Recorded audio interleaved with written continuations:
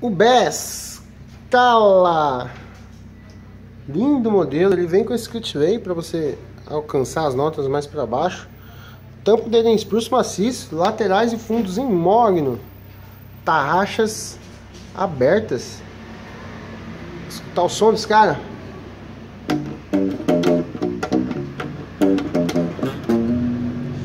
Ele é passivo, tem uma entrada aqui atrás para você ah, colocar ele na caixa de som e é onde ele ganha mais volume.